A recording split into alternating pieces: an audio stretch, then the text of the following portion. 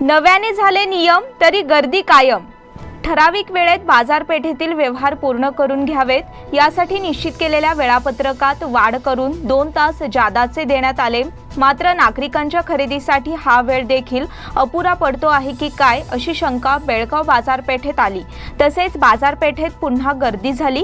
त्यामुळे सकाळी अकरा नंतर पुन्हा पोलिसांनी नागरिकांना घरी पाठविण्याची कामगिरी पार पाडली.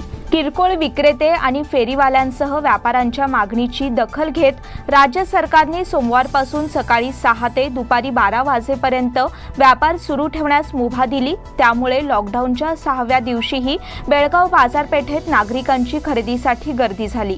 गर्दी आणि विनाकारण फेरीवाल्यांना रोखण्यासाठी पोलिसांना कडक भूमिका घ्यावी लागली. मर्यादित वेळेमुळे विक्रेत्यांना आणि नागरिकांना समस्यांना सामोरे जावे लागत आहे. व्यापाऱ्यांचेही नुकसान होत आहे अशी तक्रार करण्यात आल्याने सोमवारपासून ही वेळ वाढवून देण्यात आली आहे. त्यानुसार बेळगावात बऱ्याच ठिकाणी दुपारी बारा वाजेपर्यंत व्यवहार सुरू होते.